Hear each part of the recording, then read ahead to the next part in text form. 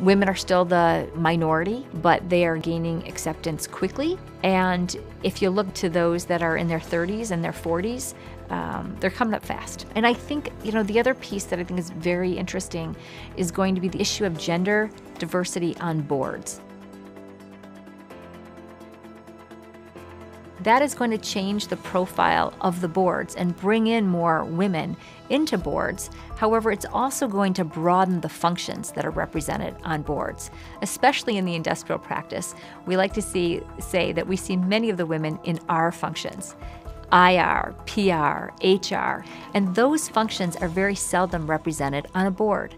So now, when you have the mandate to bring in more women, you're going to naturally start to broaden the functions and therefore the diversity that reflects the board.